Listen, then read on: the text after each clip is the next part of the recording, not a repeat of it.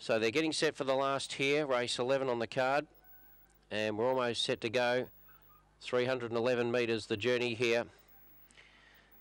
And we're set to go. Race 11 on the card.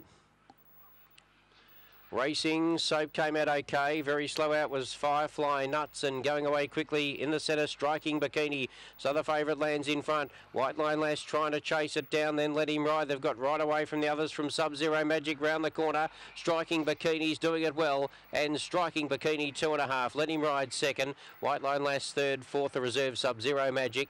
Then for the back was Firefly Nuts. Then came Gappy Hillmore and the last couple Soap with Calabrese Spullet and the time on the last is 1795.